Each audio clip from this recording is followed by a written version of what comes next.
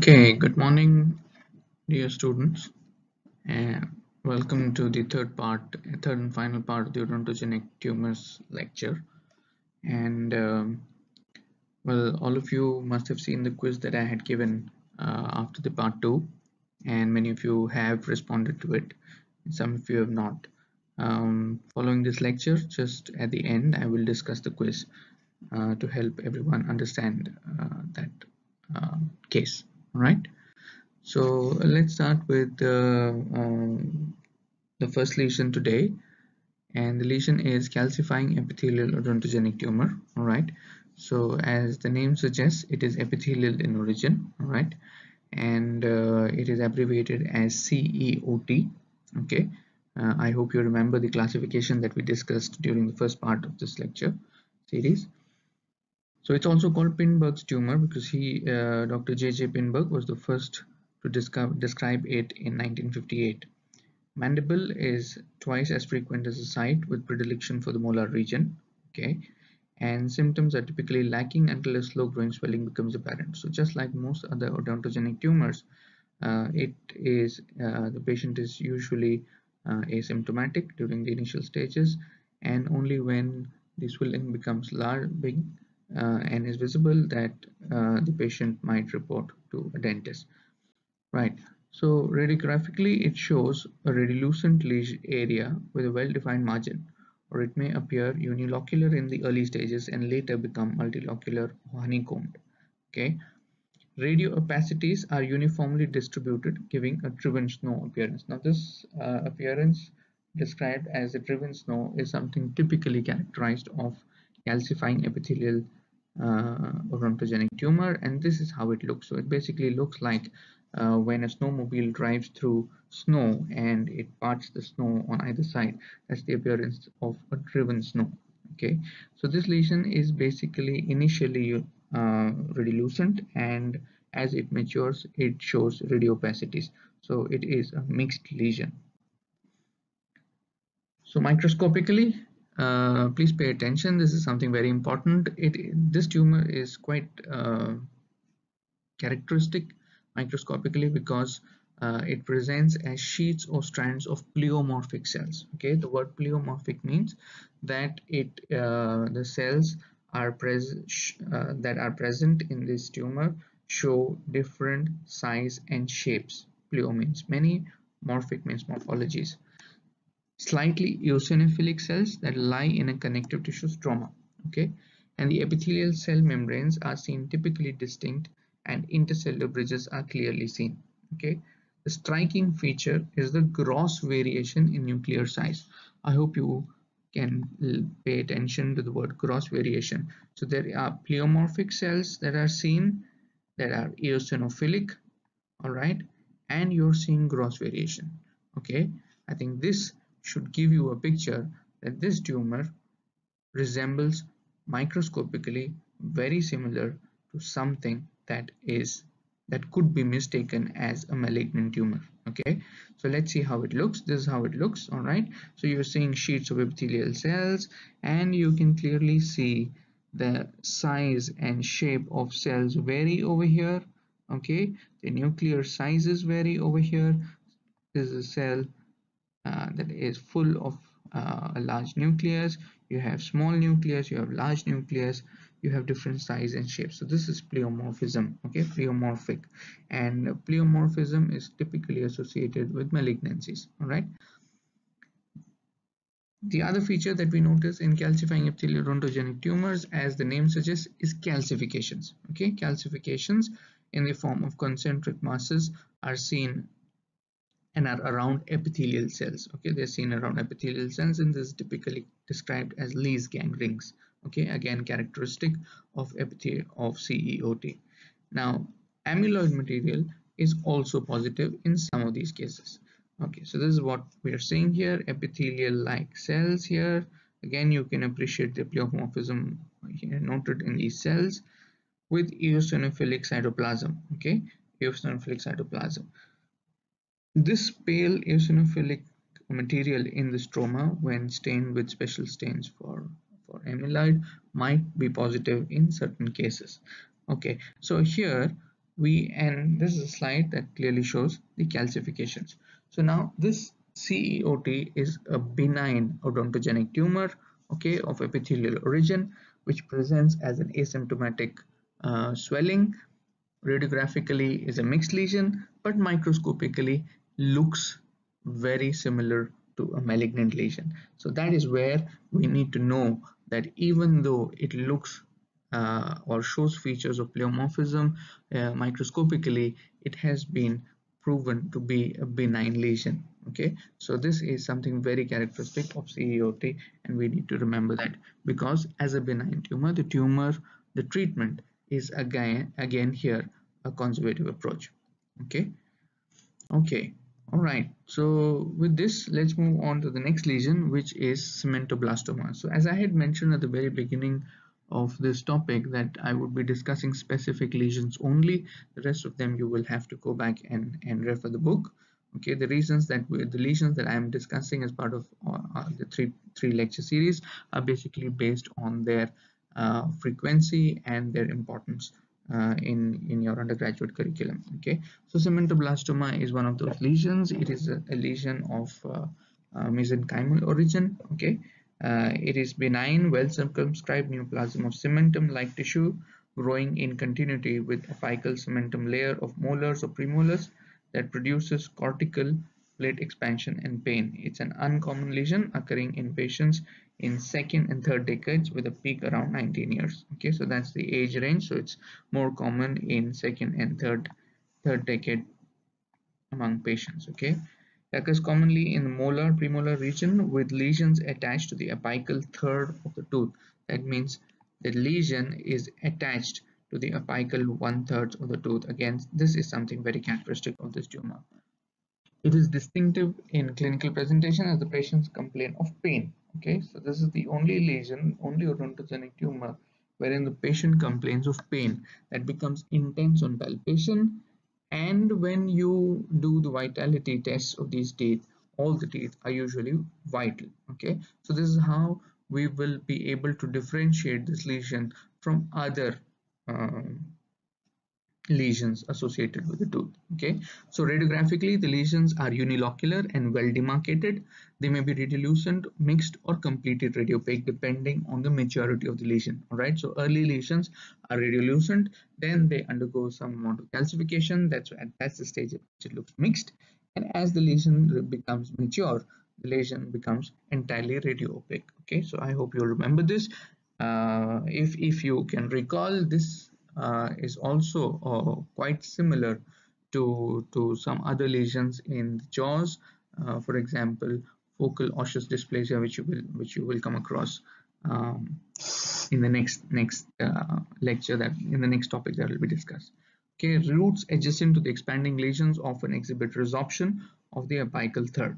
Okay so this is this is your first mandibular first premolar and this is the entire lesion that you can see all right so it's entirely looks more more radio opaque less radiolucent. There is a radiolucent rim around it and the lesion is attached to the apical one third okay? Is attached to the apical one third so uh, just to let you i mean just for you to reflect on if you notice here in this particular patient uh, the second molar has a large caries lesion uh, which happens to be communicating to the pulp and there is also a furcation involvement. So just imagine if this patient turns up to your clinic with with severe pain you would first think that this is the tooth of question and only when you do a radiograph you might probably uh, identify that you have this lesion. And then it would be very important for us to to to isolate as to which tooth is the cause for the pain in this patient and accordingly treat them.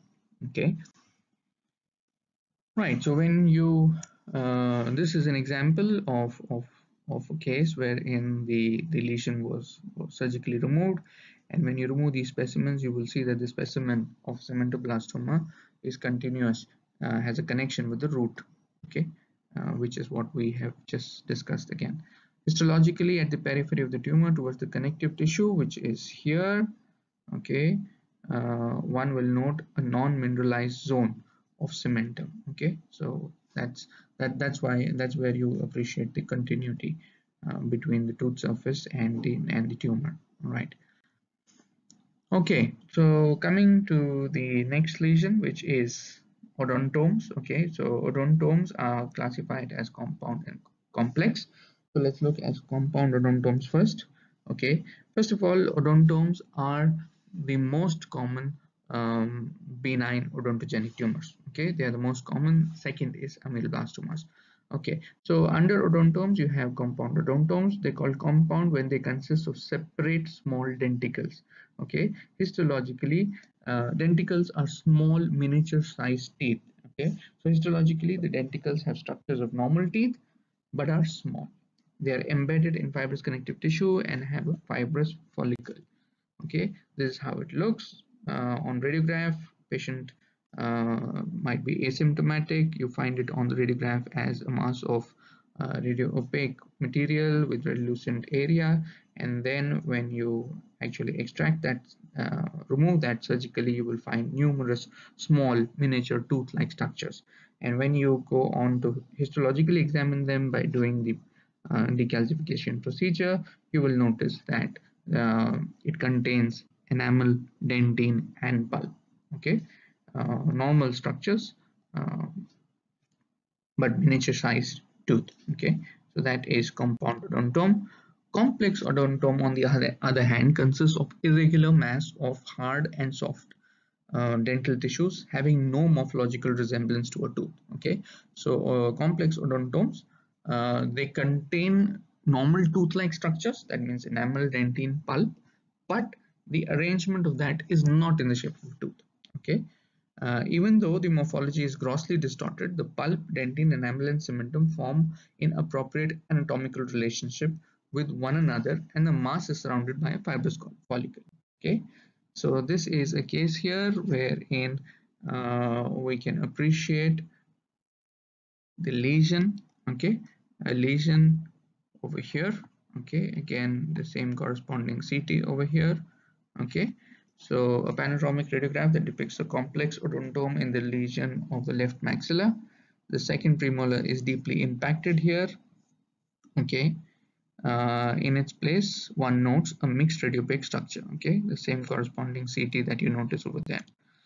Okay, so histologically, as we just mentioned, since it, it does not resemble a tooth, okay, complex odontomes do not resemble a tooth but are found by normal uh, enam enamel, dentine, and pulp present in anatomical arrangement. Okay, so histological view of complex odontome. It consists of a mixture of hard substance, epithelial cell, epithelial structures, empty spaces form, formerly occupied by enamel matrix. The complex odontome always exhibits a capsule.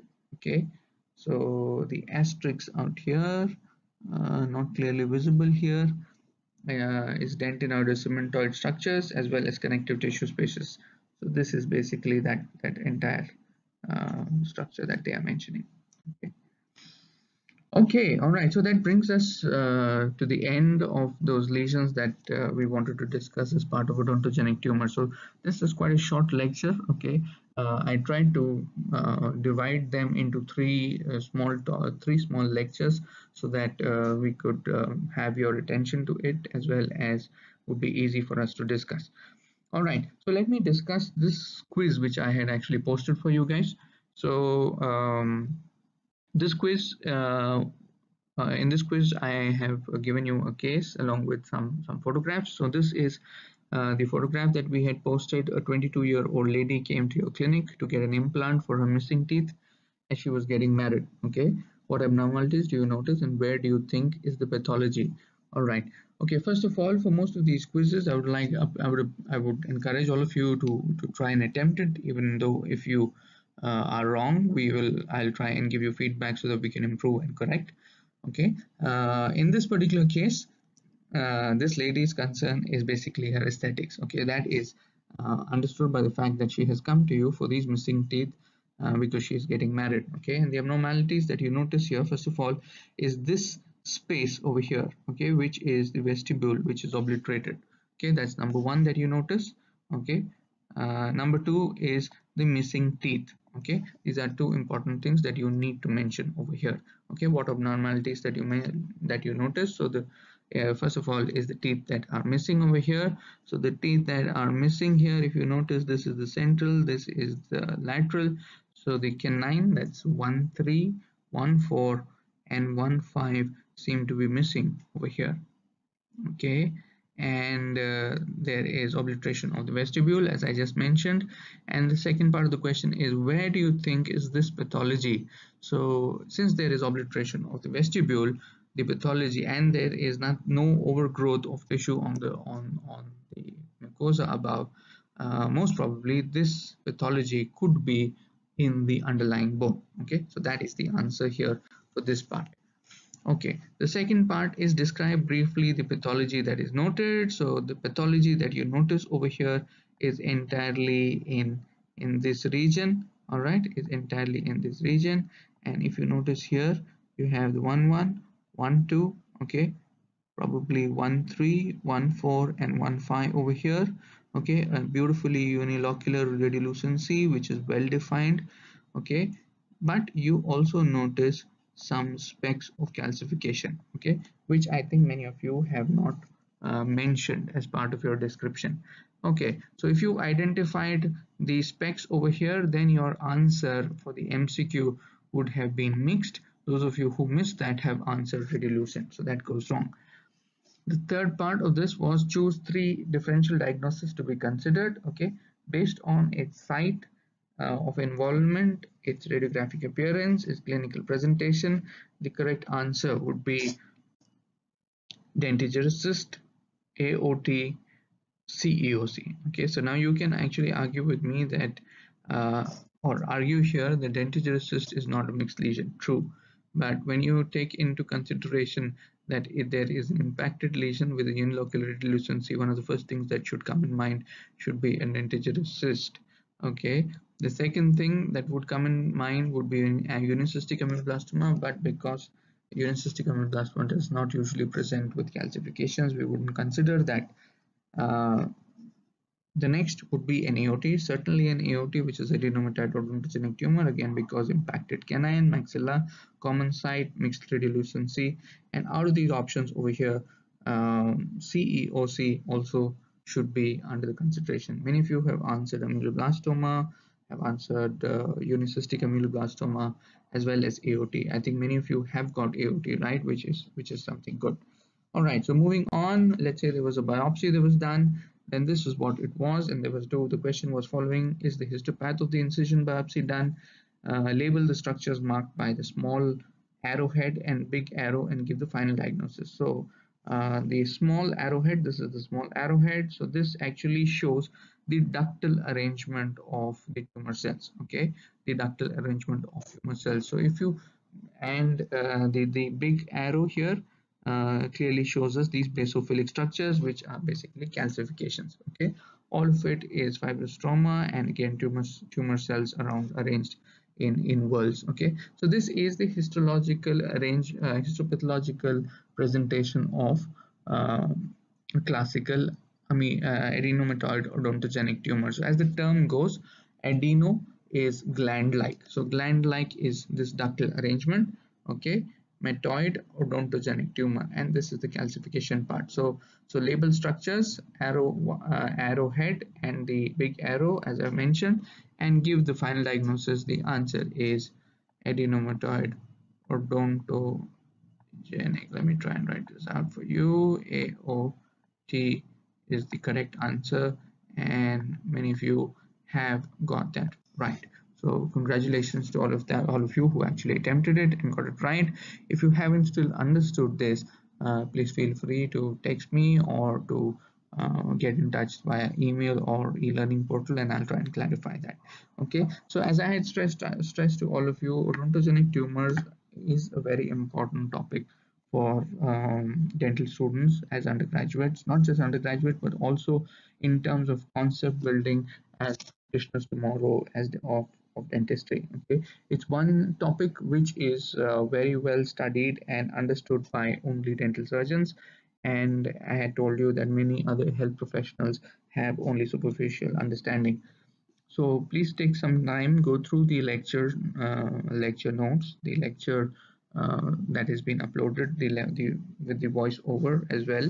And if you have any doubts please feel free to discuss it okay to mention a few things uh, dr vinay will will further on go ahead and uh, and conduct the the practical sessions using the google classroom. Okay so similar case-based uh, learning scenarios would be posted up with case with questions that you'll be able to answer. Uh, please remember whenever you actually uh, have to answer differential diagnosis always keep in mind the rule of thumb common lesion first. Okay if you always keep that mind rule in mind uh, it's always easier for you to list out uh, the the common differential diagnosis okay? Okay with this uh, i'd like to thank you all for your time and uh, stay safe and stay home um, and hopefully we should all be able to get back to normal routine or new normal routine soon. Goodbye. Thank you